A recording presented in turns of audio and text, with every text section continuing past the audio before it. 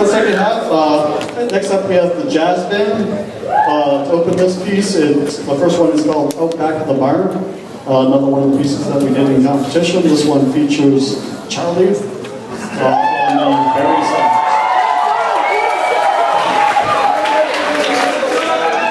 So we've mentioned this uh, Massachusetts-based competition a few times, but I never told you how we actually did. So uh, we had a chorus, concert band, and jazz band, and uh, we took first place in all those.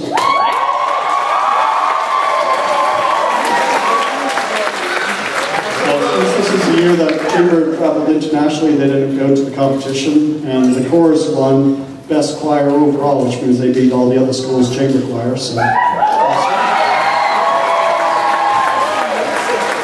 And just to make sure that we had enough uh, awards, uh, Charlie took best saxophone solo. So.